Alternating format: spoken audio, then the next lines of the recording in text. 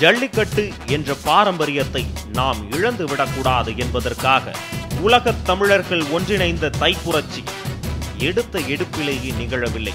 அது நடந்தேற காரணமானவர்களில் மிக முக்கியமானவர் இவர்.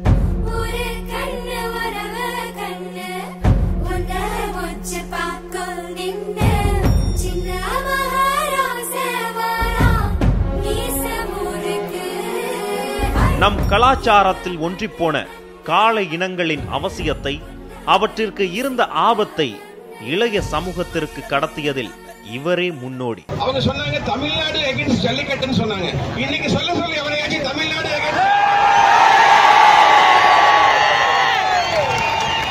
இன்னைக்கு யாருக்காச்சும் தைரியம் இருந்தா பேஸ்புக்ல ஸ்டேட்டஸ் போட்டு வாட் இஸ் ஜல்லிக்கட்டுன்னு கேட்கணும்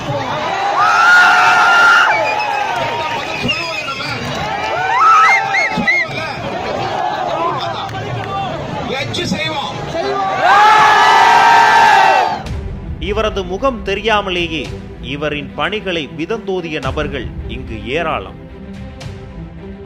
சேனாபதி காங்கேயம் கால்நடை ஆராய்ச்சி மையத்தை நிறுவி நாட்டு மாடுகள் விவசாயம் நீர் மேலாண்மை இயற்கை சார்ந்த பல்லுயிர் பெருக்கம் என உலக அளவில் இயங்கிக் கொண்டிருக்கும் முன்மாதிரி இவர்.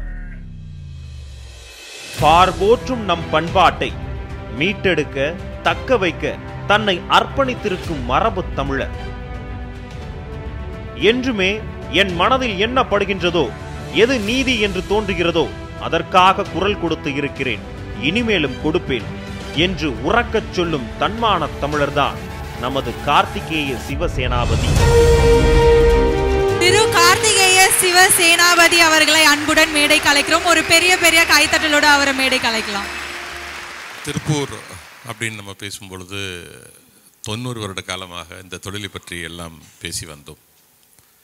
ஆனால் திருப்பூருக்கும் இந்த எக்ஸ்போர்ட் தொழிலுக்கும் ரெண்டாயிரத்தி நானூறு வருட தொடர்பு இருக்கிறது என்று பாண்டிச்சேரி பல்கலைக்கழகத்தைச் சேர்ந்த ப்ரொஃபஸர் ராஜன் அவர்கள் இந்த நொயிலாற்று நதிக்கரையினிலே வாழ்ந்த மனிதர்கள் இட்டாலியில் இருக்கக்கூடிய ரோமுக்கு பட்டு துணிகளை அதே போல் தங்க ஆபரணங்களை எல்லாம் செய்து அன்று அனுப்பியிருக்கிறார்கள் என்று கொடுமணல் ஆராய்ச்சி மூலம் நிரூபித்திருக்கிறார்கள். வேறு எந்த ஊரிலும் நகரத்திலும் பகுதியிலும் இல்லாத ஒரு வித்தியாசமான விடயத்தை திருப்பூரில் காண முடியும். பெரிய கார்ப்பரேட் நிறுவனங்கள் தொழில் செய்பவர்கள் எல்லாம் ஐநூறு கோடி ஆயிரம் கோடி பணத்தை போட்டு இந்தியன் இன்ஸ்டியூட் ஆஃப் மேனேஜ்மெண்ட்டில் படித்தவர்களை வைத்து தொழில் செய்துவிட முடியும். ஆனால் இந்த ஊரில் மட்டும் சாமானியர்கள் தொழில் செய்து பெரிய கார்ப்பரேட் நிறுவனங்களாக மாறக்கூடியதை இங்கே மட்டும்தான் பார்க்க முடியும். சின்ன வயதிலே நோயிலாற்றலே துண்டை வைத்து மீனை பிடித்து ஆட்டுகளை உள்ளே ஓட்டிச் சென்று மாடுகளை ஓட்டிச் சென்று விளையாடியவன்.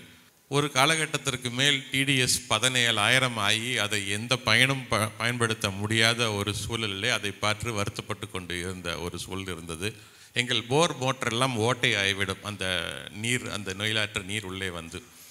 அப்படி இருந்த சூழலிலே கடந்த சில வருடங்களாக வெற்றி அமைப்பு கிளாசிக் போலோவுடன் நாங்கள் தொடர்ந்து பயணித்து வருகின்ற ஒரு பாக்கியத்தை கிடைத்த பிறகு பல மேடைகளில் அண்ணா கூறியிருக்கிறார்கள் சிவராம் அண்ணா நாங்கள் செய்த அந்த தவறை செய்வதற்கு திருப்பி மறுபடியும் சரி செய்வதற்காகத்தான் இப்படி நாங்கள் வேலை செய்து கொண்டு வருகிறோம் என்று இப்பொழுது எங்கள் ஊர் டிடிஎஸ் பார்த்தீர்கள் என்றால் எட்நூறு எட்நூற்றி ஐம்பது சில சமயங்கள் மறுபடியும் இன்னுமே குறைந்திருக்கிறது. பெரிய மகிழ்ச்சி தருகிறது. இப்பேற்பட்ட ஒரு மாற்றத்தை லண்டன் தேம்ஸ் நதிக்கரையில் தான் செய்தார்கள். பல பல வருடங்களுக்கு முன்பு லண்டனிலே இன்னும் அதை ஒரு விழாவாக அந்த ஊர் மக்கள் கொண்டாடுகிறார்கள். தேம்ஸ் நதிக்கரையை மீட்டெடுத்தது போல இந்த நொயிலாற்றையும் இப்பொழுது மீட்டெடுத்திருக்கின்றோம். ஜல்லிக்கட்டு போராட்டத்தை பற்றி இப்பொழுது மேடையிலே கூறினார்கள். இரண்டாயிரத்தி பதினேழாம் வருடம் நான் கலந்து கொண்ட முதல் ஜல்லிக்கட்டு போராட்டம் திருப்பூர் தான்.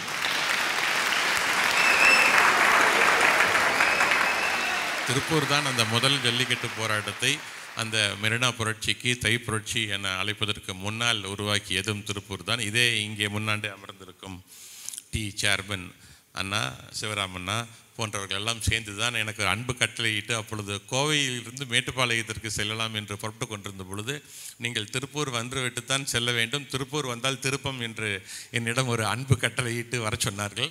திருப்பூரிலே ஒரு மாபெரும் ஜல்லிக்கட்டு போராட்டத்தை நடத்திவிட்டு அதற்கு பின் தான் பல ஊர்கள் சென்று கடைசியாக சென்னை டெல்லி சென்று உள்துறை அமைச்சர் எல்லாம் சந்தித்து அந்த சட்டத்திற்கான வேலையை நாங்கள் எல்லாம் ஒரு குழுவாக சேர்ந்து செய்தோம். நன்றி வணக்கம்.